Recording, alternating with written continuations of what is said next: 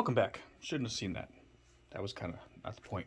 Um, I'm in the middle of picking up my mess, finishing up my projects, and shout out to the wife for helping me. Um, trying to get a video out to you guys tomorrow morning of some of the hijinks from last weekend.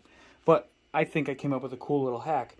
So in the midst of whoop season, we have gone a little crazy creating hoops, LED hoops, hula hoops, and making the race course, hence the track that's being uploaded, or the, um, the video. But I think I have a life hack, and I think this could catch on, because it's getting hoops in the yard, unless they're pre-bought and have legs on them, are kind of a pain in the ass. And uh, in the pursuit of creating and having fun, what we have here is a TV stand. I have no idea from what what TV, other than being Samsung, um, what size TV it's from. I'm going to guess somewhere around 55 inch. It could be bigger, but who the heck knows. It's not the heftier one, so I'm going to stick with my gut and say that it's probably the 55 inch. So, you're going to go, well, why the hell use that? Um, do I have a hula hoop loose? I don't want to show you the good stuff that I've been working on. Pretend I have a hula hoop here, and I don't have the height room to bring it in here. So, I tested out on one of the fancy ones that I created, and that'll give you the idea. So, the hula hoop sits here, and there's a little bit of lip, so I still may mod this and add some uh, like rubberized material to bite down onto it uh, a little bit more. I think I've convinced myself that already as I'm talking about it. So you strap the hula hoop there. It goes through the strap, which I cool custom cut. And then when it comes through, it wraps to the backside and locks it in.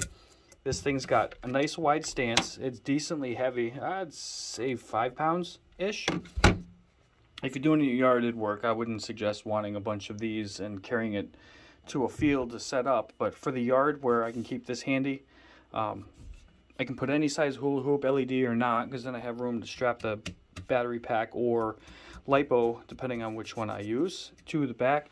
Actually, let me grab a hoop. Hold on. Do, do, do, do, do, do, do.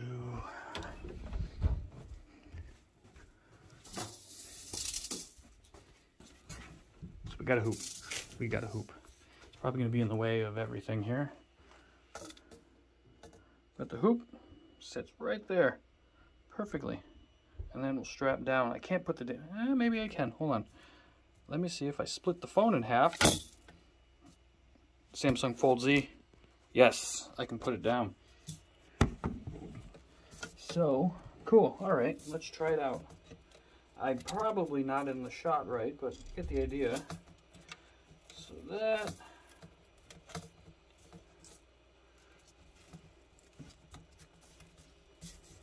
So nice and tight.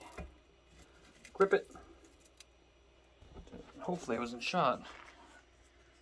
Boom! Hula hoop. And it's attached. It's got a good amount of tension on it, so it should take a pretty decent hit you could fly your three, I wouldn't put anything bigger than a three inch shot. It would you could fly a five inch obviously easily through that, but hitting it would knock it over. Where this thing's not going to go anywhere. It's pretty sturdy, so I'm very happy. So I'm going to call that I guess a a hoop whoop hack. I don't know, but let me know what you think. Because I know, you know, at one point I had like three or four of these things sitting around from TVs I've had through the years or buying TVs for the kids and whatnot. And I probably still have one floating around somewhere, so I'm going to probably, if I do, come up and do that also, because that just saves me making some crazy stands in the yards. Because you don't want to attach too many things to these. You want to kind of keep it simple. So that is my cool life hack for the night. For making a hoop, whoop, for your course. You can set that around anywhere, and uh, it'll work. So, short and simple. Peace out.